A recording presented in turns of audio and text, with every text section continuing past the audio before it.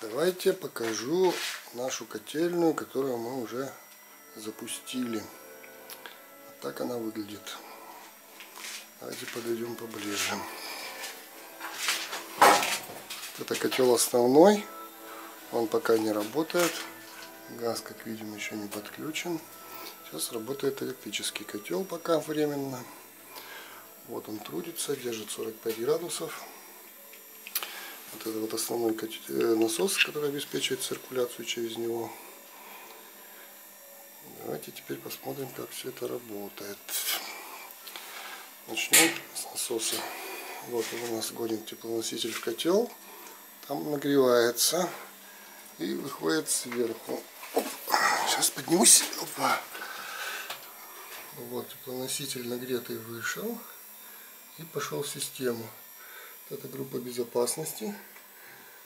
Давление 2 атмосферы, решительный бак, клапан воздухотводчика и предохранительный клапан. Замечу, что к котлу группа безопасности подключена напрямую, никакой запорной арматуры нет. Значит, теплая вода у нас опускается вниз идет, идет, идет, идет, идет. И пришла к разделителю. Вот это клапан обратный, который пускает только вниз воду. Вот это на самом деле, скажем так, косячок. Почему? Потому что пока насос работает, вода циркулирует, клапан открыт. И, собственно, воздух, который появляется в системе, он так вот может подняться и через воздухоотводчик наверху выйти. Но когда котел остановлен, клапан закрыт, воздуха деваться некуда. Ну, воздух ходит в других местах, воздухотводчики в системе есть другие. Значит, соответственно, вот у нас теплоноситель пришел. Эта группа у нас пока не подключена, это на будущее. Тут будут батареи подключены второго этажа. Вот он опустился. И пошел э, насосная группа теплых полов. Вот работает насос, вы видите, качает пол кубометра в час он сейчас выдает. В очень экономичном режиме работает. Если заметите, потребление 9 ватт. Смешно даже рассуждать. Теоретически можно поднять до одного куба, просто переключив режим. Значит, и горячая вода ушла в соседнее помещение, где коллектор теплого пола находится. И, соответственно, вот она вернулась обратно в систему. Это у нас термосмеситель, который сейчас полностью открыт. То есть горячая вода, поноситель идет только от котла. Обратка не подмешивается. Соответственно, если повернем вот, вот так, то вода будет ходить наоборот только через теплый пол, а из системы забираться не будет. Ну и можно менять соотношение, соответственно. В будущем это будет сделано автоматически.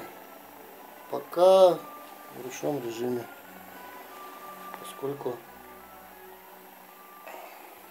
температуру мы поддерживаем с помощью котла. Потому что система выдает ровно такую температуру, которую мне надо.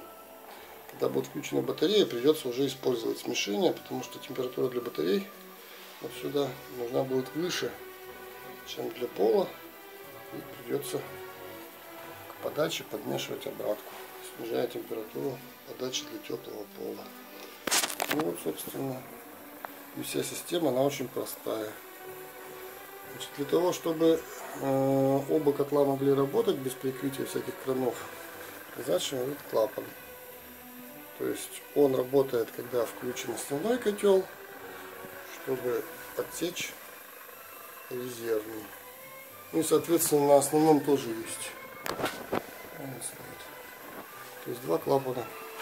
Они обеспечивают совместную работу двух котлов. Смонтировано все нержавейкой на пресс-фитингах на обжимных. Специальными щипцами обжимали. Ну а дальше пошел металлопластик. Разводить всю систему нержавейкой. Что-то как-то мы не решились. Очень это недешево получится. Ну, собственно, специалисты можете смотреть и ругать меня. Обязательно найдете за что. Ну, собственно, пока все. Потом еще сниму что-нибудь более подробное.